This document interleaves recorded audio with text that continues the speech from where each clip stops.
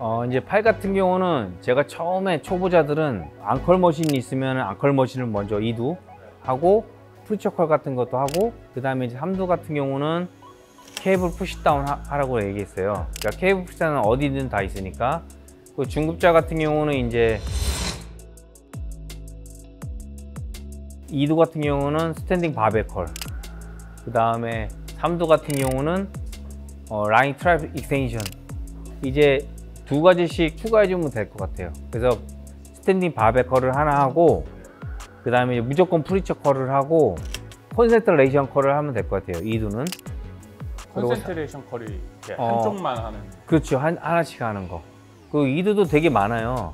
alternate curl도 있고요. hammer curl도 있고, 그 다음에 concentration curl도요.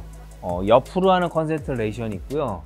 앞으로 하는 concentration이 있고, 그 다음에 preacher curl에서 하나씩 대고 하는 것도 있고요.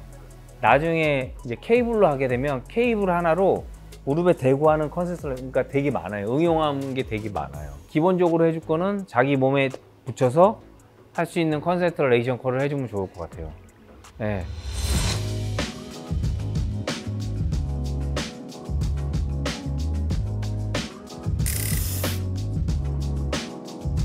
그리고 3두 같은 경우는 음, lying tricep extension 해줬으니까 3두 같은 경우는 추가로 overhead tricep extension을 해주면 될 것 같아요.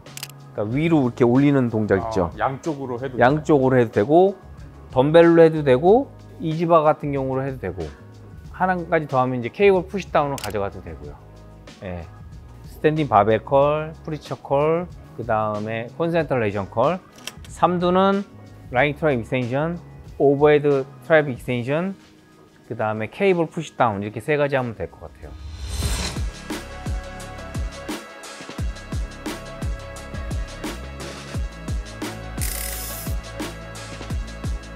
세티스는 어떻게 세트는 무조건 어, 처음 잡아, 잡는 걸로 이제 10세트를 해주는 거죠. 그러니까 2두 같은 경우 standing barbell curl 10세트. 그 다음에 3두 같은 경우는 lying triceps extension이 10세트. 나머지는 4세트, 5세트 가져가서 최소한 20세트는 넘겨야죠. 팔 운동 거의 매일 하셨던 것 같은데 아, 매일은 안 하고 이틀에 한 번? 이틀에 한 왜냐면 그때는 이제 PT를 하니까 팔 운동도 솔직히 1시간 반 이렇게 가져가야 되거든요. 그런데 그렇게 못 하니까 그냥 이틀에 한 번씩 짧게 짧게 갖고 갔어요. 예, 조절한 거죠. 3일에 한 번 정도 했어요, 팔은. 제가 아까쯤에 얘기했잖아요. 팔은 약간 소근육도 아니고 대근육도 아니고 그 중간이라고요. 지금 제가 4일 분할을 하는데 대근육 같은 경우는 4일에 한 번씩 돌아가게 했고요. 팔 같은 경우는 3일에 한 번씩 돌아가게 했어요. 약간 약간 조절을 조절을 하면서 팔은 할 수 있어요. 어, 음. 그리고 마지막 이제 하체인데 예전에 이제 추천해 주신 게 leg extension, leg curl. 어, 중상급자가 되면 특히 상급자까지 가면 어, main이 스쿼트고요. 그 다음에 어, leg press를 하나 더 배우시고 그 다음에 leg extension, leg curl을 가져가면 될 것 같아요. 네, 여기서 한 가지 더 추천하면 뭐 lunge나 아니면 hack squat가 있으면 hack squat를 하는 게 좋을 것 같아요. 이제 요즘에는 좀 큰 데 가면 power leg press가 있어요. 그러니까 누워서 미는 게 power leg press고 중량을 많이 끼고 그 뒤에 있는. 예. 예. 그리고 이제 leg press machine 같은 경우 있어요. 중급자, 상급자 같은 경우는 굳이 저 power leg press가 없으면 그냥 leg press machine을 사용해서 해도 될 것 같아요. 이게 하체의 main은 스쿼트예요. 보조 운동으로 leg press랑 그 다음에 extension 또 leg curl을 가져가는 게 좋죠. 상급자까지는. 그 다음에 이제 다양하게 햄스트링 따로 해주는 게 좋을 것 같고요. 선수로 한다 그러면. 그러니까 막 대회를 준비하고 예. 그러면 근데 굳이 뭐 해줘도 상관은 없지만 제가 추천하는 거는 상급자는 한 다섯 가지만 해도 되게 힘들 거예요 아마. hamstring은 따로 그 다음에 대퇴 사두부는 따로. 그 정도까지는 안 하셔도 될 것 같아요. 굳이 하고 싶어. 그러면 하셔도 돼요. 근데 이제 시간이 길어질 뿐이죠. 메인 운동을 그래도 집중해서 못 할 것 같아요 그렇게 하게 되면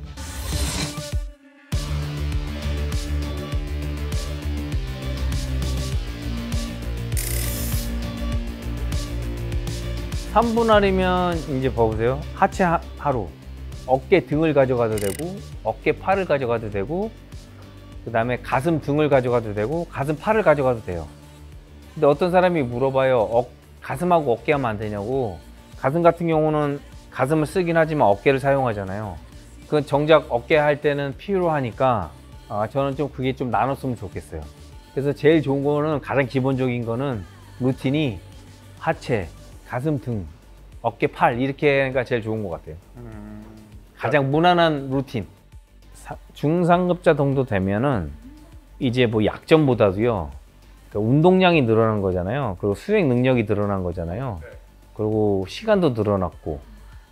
그러게 되면 이제 몸이 좋아지려면 체중도 어느 정도 증가해야 돼요. 그러니까 먹는 것도 또 신경을 써야 되고.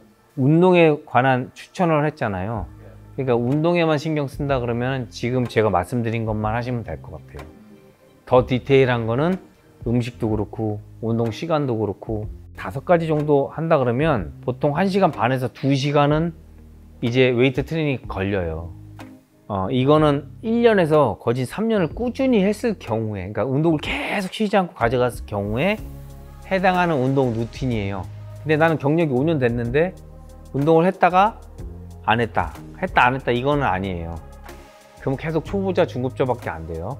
1년에서 3년을 꾸준히 했을 경우에 제가 운동을 가정했을 때 추천을 하- 해드리는 거지 굳이 막 운동을 했다 안 했다 했다 안 했다 이거는 상급자까지 가시면 안 돼요. 목표에 따라 달라지는 거죠. 그러니까 1년 한 사람들도 시합을 뛸 수 있어요.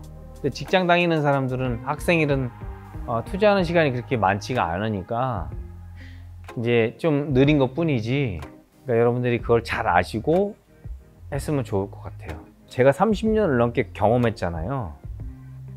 사람들이 자꾸 제 운동 방법이 기본 운동을 강조하는 거는 어디든 다 해당하는 거거든요. 기본은요. 재미를 떠나서요. 내가 발전하고 싶으면 몸이 더 좋아지고 싶으면 여러분들 기본은 무조건 갖고 가세요.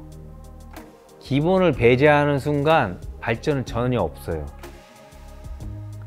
그러니까 다른 유튜버들이 막 뭐 올드하다 막 그러니까 어그로를 끌려고 말씀들을 하는데 저 강경원 말을 듣고 기본 운동을 가져간 상태에서 응용하시면 분명히 좋은 효과가 있을 거예요.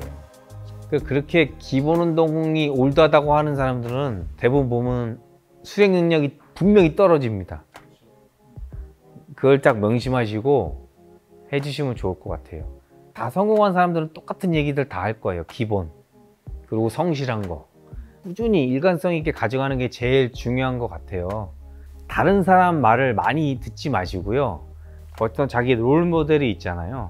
그러니까 롤 모델처럼 되고 싶어 사람을 선정을 해서 그 사람이 어떻게 운동하는지, 그 사람이 생활을 어떻게 하는지 관심 있게 보시고 그 사람 거를 한번 해 보시고 안 되면 또 다른 사람 걸 바꿔야지 이 사람 거 조금, 이 사람 거 조금, 이 사람 조금 조금 이렇게 가져가면 오히려 다 헷갈릴 수 있어요. 그러니까 그렇게 아- 안 했으면 좋, 좋을 것 같아요. 그리고 사람 스타일마다 선수마다 다 달라요. 그렇지만 기본은 다 똑같다는 건 여러분들이 아, 아셨으면 좋을 것 같아요. 네, 이것으로 중상급자 운동 추천 알려드렸습니다. 감사합니다. 새벽 2시